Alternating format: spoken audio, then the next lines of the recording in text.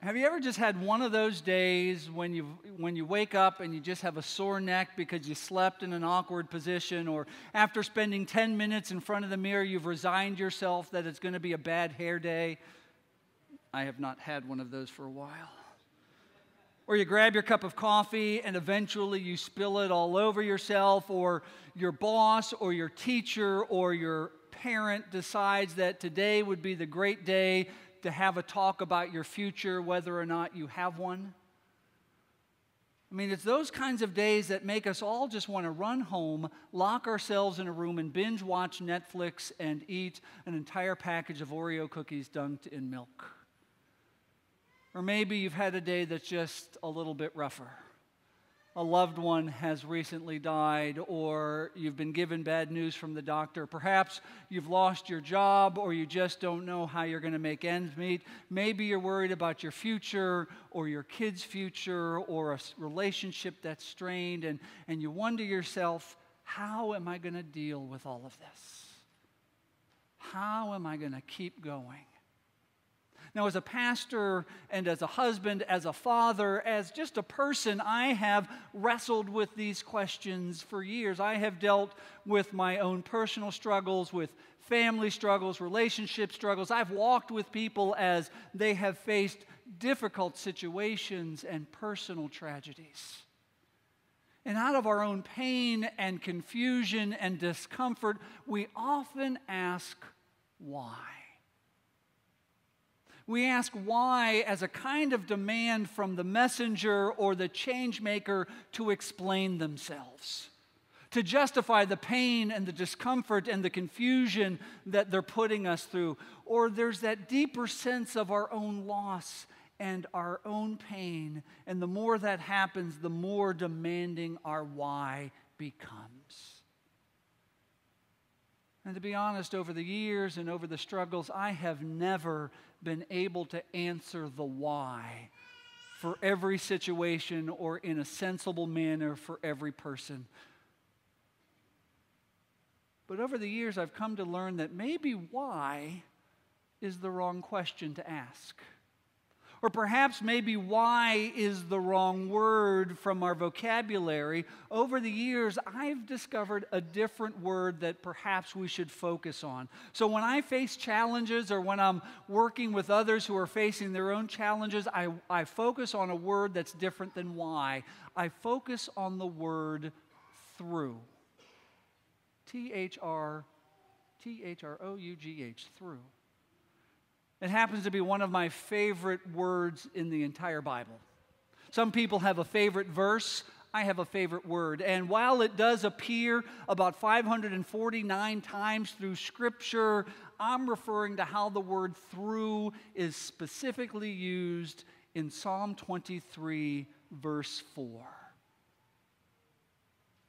Even though I walk through the darkest valley, I fear no evil for you are with me, your rod and your staff, they comfort me. That word through just jumps off the page or the screen for me. But before we get to word, that word through, let's leave it up there for a second, Jared. Let's dissect it a little bit. Notice it doesn't say at the beginning, if I walk through the darkest valley. It says, even though I walk that word though carries with it an expectation that the dark valleys will happen. It carries the assumption that valleys are a normal way of life. It carries the idea that there is no other way, there's no other detour through that valley. And then pay close attention to the word walk. The darkest valley is not a place where we camp out. It's not a place where we stop and we behold the beauty of our pain. It's not a place where we're called to rest. The valley is a place of movement. And that just leads me to my favorite word, through. Even though I walk through the darkest valley, it takes all of that together that inevitability, that movement, and it reminds me that the valley is not my destination. The valley is not the ending point for me. It is a part of life that I know I will eventually get through. And how do I personally get through? I get through by being reminded that God is with me, that God protects and provides me comfort. I get through the valleys as an act of faith. So, over the next few weeks, we're going to explore how to get through the dark valleys. And today, we're going to begin by starting small. You see, our culture constantly pressures us that we have to do something big for our world in order to get noticed. You've heard the phrase go big or go home. Big, extraordinary moments, however, are very rare in life. They are much rarer than the small, ordinary moments of life. Trying to go big all the time only ends up in adding stress and frustration to your life. So, what if you were to start small? So, when I'm working with people who are going through those dark valleys, the conversation eventually gets around to the fact that they acknowledge they just don't seem to have enough faith to deal with whatever is right in front of them.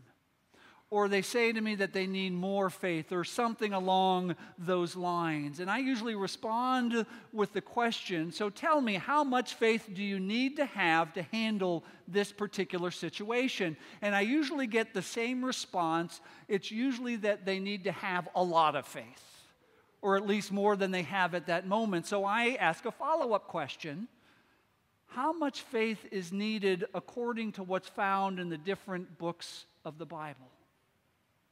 Now, those who are familiar with the Bible will point out stories to me of, of people who have a great amount of faith, and those who aren't familiar with the Bible just stare at me.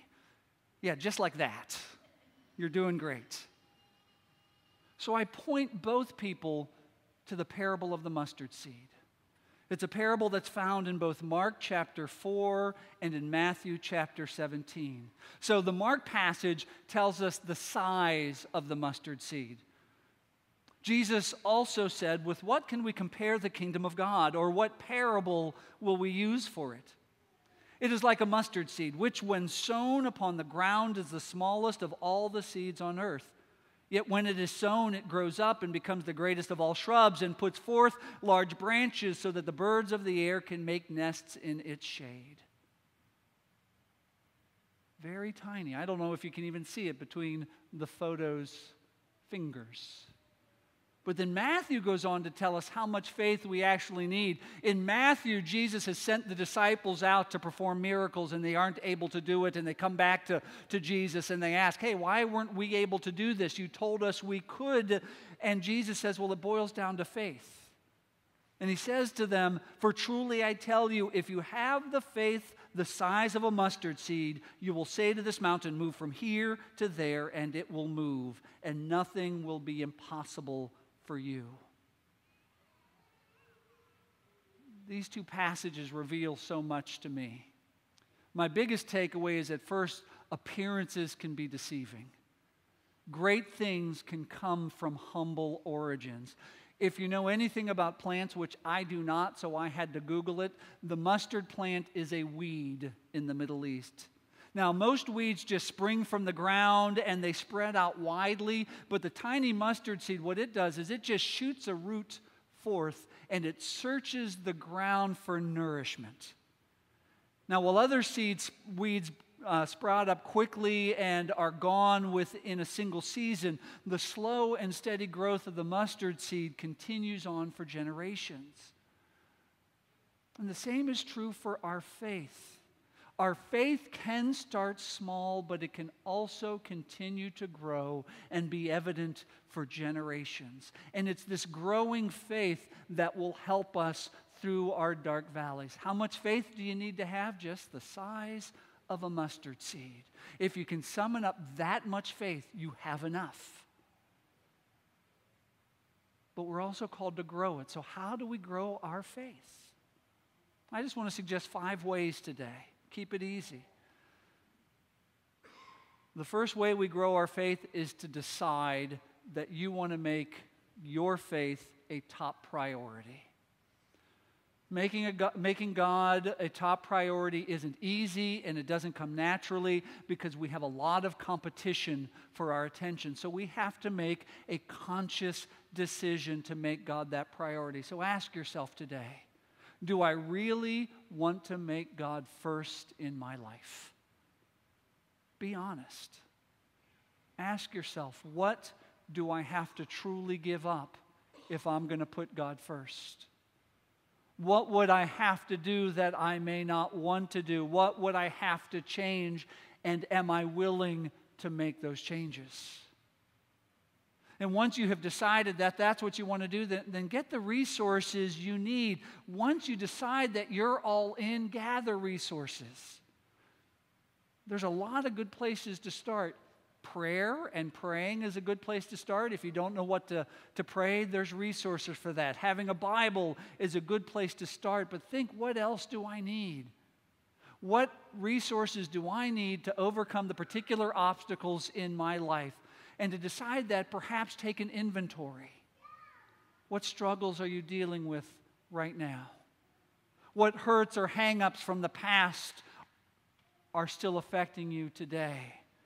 What is holding you back from really committing? What areas do you feel like you don't know enough that you should? There are tons of great resources out there. You just have to find them. And if you don't know where to look, you just have to ask. And then surround yourself with others who motivate you. For me, one of the best motivators is to be around people who I want to be like, people who bring out the best for me. That works for me in the area of my faith life, and for those of you who know that I run, it works for me in my running life. I have people in my life who daily ask me about my spiritual journey and how it's going and what they can do to help. I have people who ask me daily how my running and my training is going. So think to yourself what kind of influences are around you? Who are you surrounding yourself with? Who do you spend most of your time with? And do they bring out the best in you? Do they encourage you to grow in your faith? I am convinced that our faith grows the most when we take intentional times to surround ourselves with a small group of people who encourage that growth in faith. And then, fourth, establish good habits and routines. Christianity is primarily based, yes, on faith and belief, but you do have to take action. We don't just wake up one morning and say, Today I'm going to be a Christian, and then fall back to sleep. No, being a Christian requires that eventually perhaps we may need to act like Christians. That means practicing practical personal disciplines like praying and reading the Bible and participating in worship and serving others. And none of these practices are particularly difficult, but they take time. And you have to force yourself sometimes until you make them habitual. It's like exercising. Be honest, people really don't like to exercise. At least perhaps the first few times they try it. I don't like to run every day.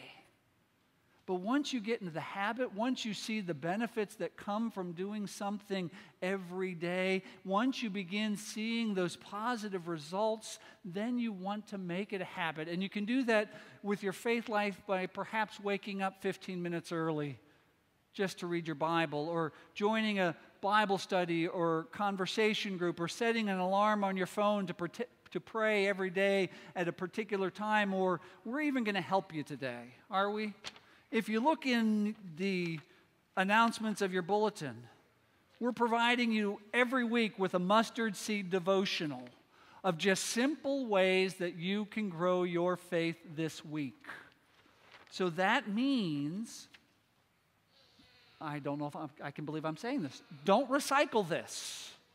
Take it home. We'll tell you how to use it as a guide. But finally, remember why you want to do all of this. No matter how many tips or tricks you use to make your Christian walk easier, there's no guarantee that it's going to be easy. I mean, regardless of how strong you think your faith is, we will always encounter trials and heartaches along the way. So we need to stop and remember why we are doing this in the first place. Why are we Christians in the first place? I'm not a Christian because it's easier. I'm not a Christian because it's convenient. I'm not a Christian simply because it's a good idea. I'm a Christian because of the love that God and others have shown to me. I'm a Christian because the love of Jesus that He has shown to me. I am constantly reminded, constantly reminded that God walks with me, even through and especially through those dark valleys. So think about that mustard seed parable. These are very unlikely representations of God's kingdom and of faith. I mean, I even learned yesterday that it takes 25 mustard seeds lined up in a row to make an inch. That's how tiny they are. So let's not try to make this something bigger than it actually is. The tiny mustard seed is not an image of strength, it's a sign of faith. Faith that God can use the smallest and frailest, the slowest and weakest, the fastest and strongest to get us through the dark valleys. Let us pray.